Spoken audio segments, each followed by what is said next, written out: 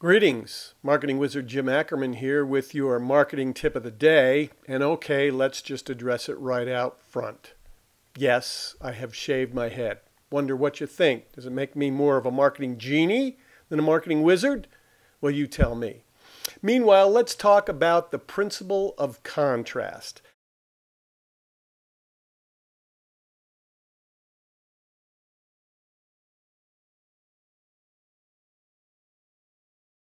The basic idea is that when you present a larger price first, followed by a smaller price, the smaller price will seem even smaller compared to the larger price than if you had just given the smaller price. The same thing works the other direction.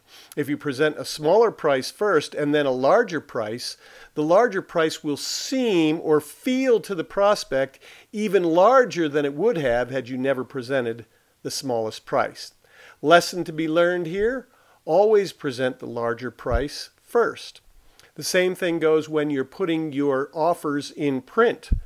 When you are offering a discount or when you're offering value added, state the value of the whole proposition, the whole value of everything you're offering in terms of its highest retail value, and then deliver the price you're actually charging the principle of contrast will be working in your favor and you're likely to get more sales.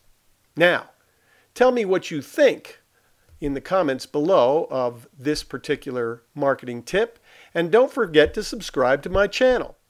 And stay tuned for more marketing tips of the day as we together discover how to genetically engineer your marketing and mine for ever increasing success.